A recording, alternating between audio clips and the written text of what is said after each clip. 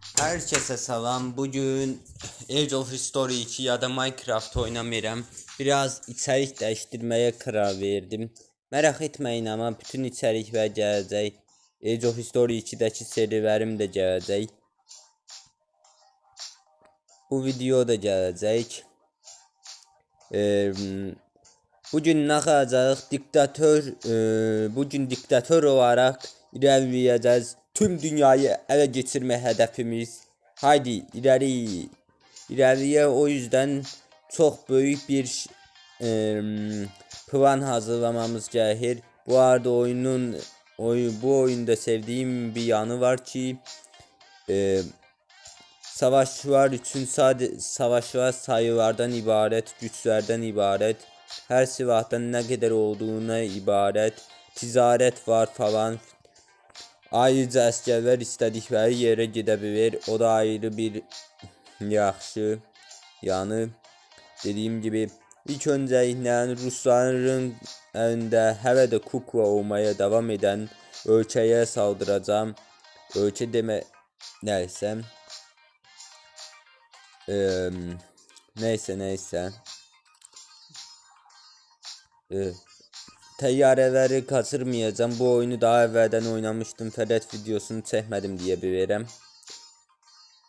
Kiçik yaş e, Yəni mən bunu keçən il oynamışdım deyə yadımdadır. Keçən il dediyim də 2020 e, 2024 e, 2023-ün sonları kimi Dikkati zayıf askeri ülkeleri bulmak için dünyayı keşfet ve saldır. Tamam tamam. Yaparız yaparız. Ee,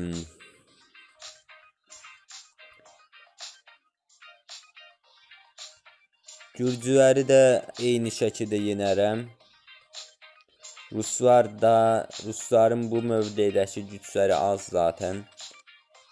Tak, Gürcistan elimizdə. Nə oldu? Ticaret mi? Amerika Birleşik Devletleri'nden heykel alarak onu hansı ülkeye satırım Almanya. Tamam. Ee, bir de hemen hemen uydu uydu Amerika Amerika ticareti hiç kaçıramam.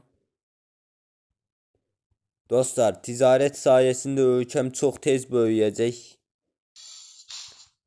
Göreceksiniz Safavi devletinden de büyük bir devlet kuracağım. Evet. İlk yine gəlirəm buraya ticaret gəmimi gətirirəm.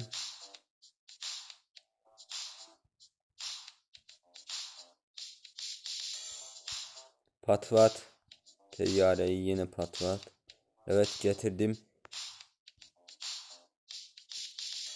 İlk eve maksimum 200 tane alabilirik de.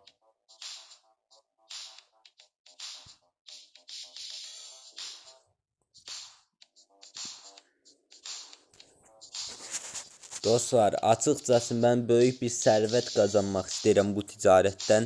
O yüzdən çox alacağam.